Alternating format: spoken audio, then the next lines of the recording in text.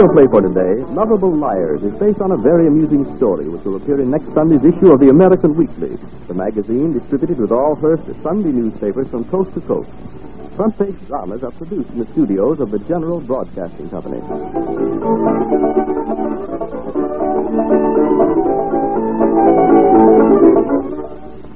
Llewellyn Meek, despite the mildness of his name, is a fierce challenger of legend and hearsay. Night after night, he brings home huge volumes from the Hilldale Public Library and avidly reads the biographical and historical anecdotes in order that he may question their truthfulness. Tonight, as he and his wife sit in their living room, something causes Mr. Meek to look up from the ponderous tome he has balanced on his bony knees. Christina, Yes, Llewellyn. you used to be a school teacher, and you're pretty smart. Thank you, Llewellyn. Did you ever hear of a fellow named Diogenes? Certainly. He used to live in Greece. He did not. It says right here in this book he lived in a tub, an empty Oh, tub. don't be ridiculous, Llewellyn. Greece is a country, and that's where he lived. Well, that's a funny name for a country. They must have raised a lot of hogs there. Diogenes was not a hog. He was a philosopher. Heavens. Did they have trouble with radical foreigners in those days, too? Llewellyn, what made you bring up Diogenes' name? Says here, he always carried a lantern around with him. Silly. Why? Must have been sunlight then, same as there is now. What did he want to tire himself out for, lugging a lantern around? It was a symbol. What a symbol. It was a lantern. In a symbol, I could understand his reason. He could clang it and keep people out of his way. You don't understand, Llewellyn. I mean, it was symbolic. Symbolic of his everlasting thirst for an honest man. It's a bet, and it ought to be easy. What's the bet? And what ought to be easy? It's a bet that I can find more liars than old Diogenes could find honest men. What are you talking about, Llewellyn? Diogenes took his lantern and went looking for an honest man. He was a philosopher. All right, I'm an American, and I'm going to take my automobile and go looking for liars. Well,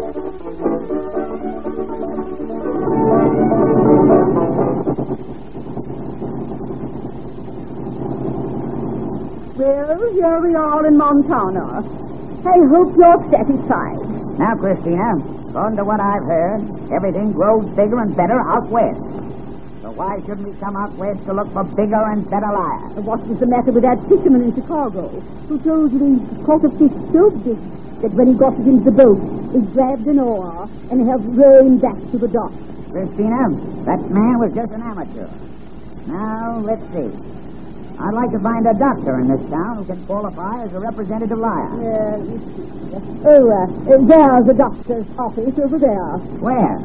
I don't see any doctor sign. H.M. Fisher. He's a doctor. Why, he's no such thing. He's an op, uh, op, uh, optometrist. That's an eye doctor. It is? Then he's just the man to see for stories. He's got a good start, calling himself one thing and being another. Here we are.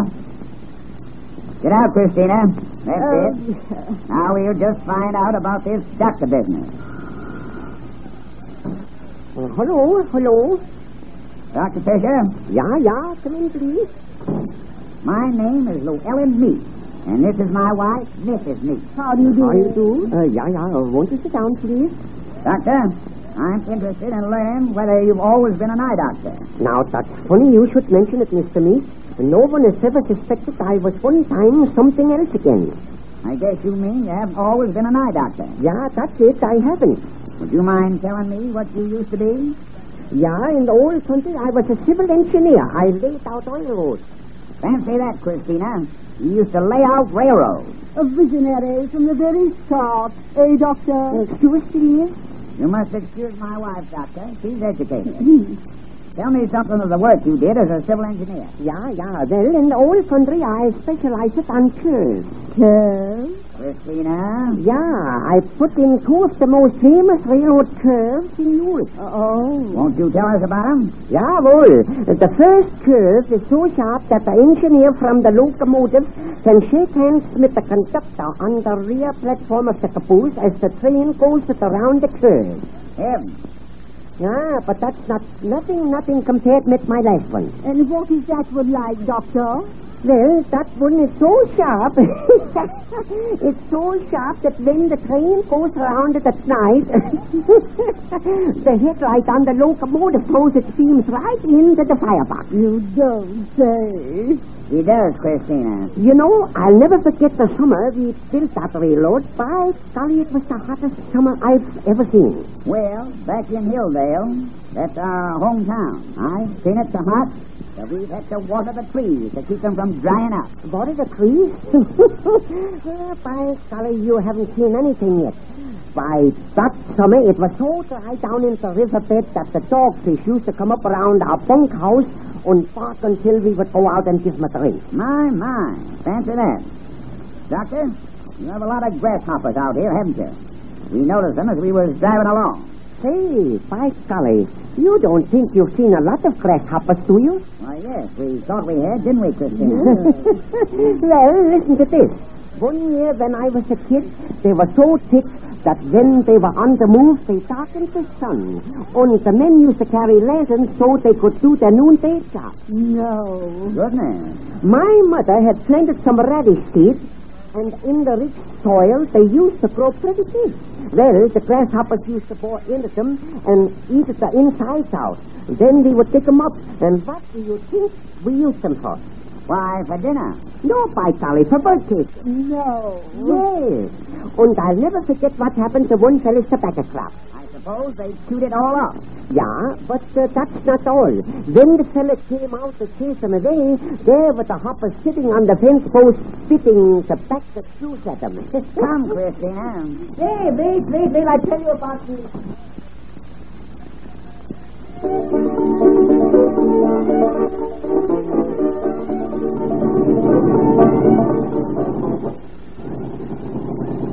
Where on earth do you suppose we are now? I haven't seen a signpost for miles. And I haven't found a single liar since we struck the state line. Oh, there's a man on that field. Let's ask him where South Park is. You, mister.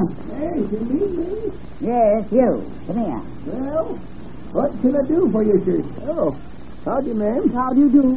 We're looking for South Park. Can you tell us where it is? Well, you'll be right at it, stranger. This prairie? Yes. Why, there's nothing here but some cattle. Well, of course. What do you think this park is for if it came for parking shekels, eh? Parking. Yeah. yeah, yes, of course. Fancy that, Christina. How quaint. They must have read about the president keeping sheep on the White House lawn. Well, we better be driving on, Llewellyn. There's a wind rising. Yeah, but sure do blow around these parts. Why, in the old days, I camped for the night one time just back to the top of that butte over yonder. Right over there? Yep, right over there.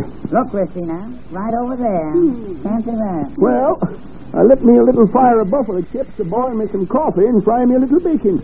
Well, sir, the wind was a blowing and the fire caught in the buffalo grass and started to run down the side of the butte and across the prairie. How awful. Did it burn all the houses? Is that why there aren't any around here? Oh, no, ma'am.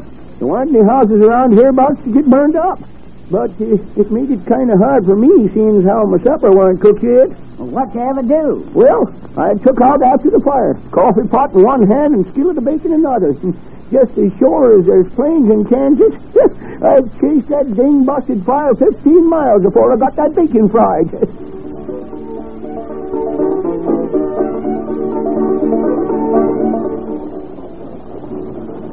Now, Christina, we're going to take a day off from life.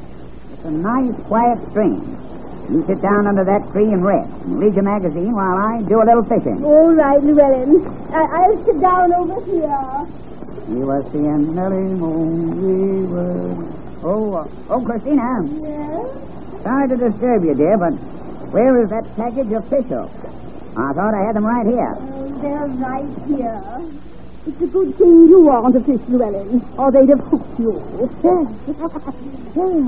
Yeah, yes, indeed. You're quite right, my dear. well, if you don't mind, I'll go back to my reading.